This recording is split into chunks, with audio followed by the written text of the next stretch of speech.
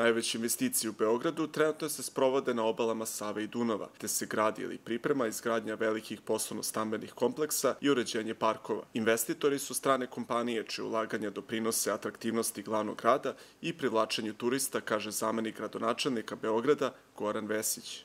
Pre osam godina grad Beograd je donao odluku da promeni strategiju razvoja i da se grad spusti na reke. To je inače vekovni sam Beograda i svi naši projekti koje smo radili od 2014. godine bili su na rekama jer tako povećamo atraktivnost e, naših investicija jer ovi investitori koji dolaze u Srbiju mogu da investiraju bilo gde u svetu. U centru grada, na desnoj obali Save, septembra 2015. godine, počela je izgradnja prvog objekta u okviru projekta Beograd na vodi, što je zajedničko ulaganje vlade Srbije i kompanije Eagle Hills iz Ujedinjenih Arapskih Emirata. Projekat je na lokaciji od 1,8 miliona kvadrata, a planirane investicije u roku od 30 godina su oko 3 milijarde evra. U Savskom amfiteatru, kako je predviđeno, nalazit će se 6000 stanova, živeće 14.000 ljudi, biće 8 hotela, 165 apartmana i Kula Beograd visoka 168 metara. Kula Beograd sa 42 sprata biće najviši objekat u Srbiji.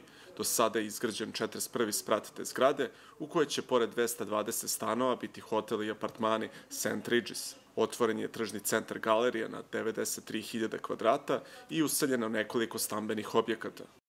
Što Beograda na vodi, to je naš najveći projekat, u ovom trenutku je useljeno negde oko 900, tačno 878 stanova i naredne, ove, tokom moje godine očekamo useljenje još 1000 stanova, naredne godine još oko 1000 stanova, to će biti skoro 3000 stanova, a čitav projekat će imati negde između 6 i 7000 stanova, znači...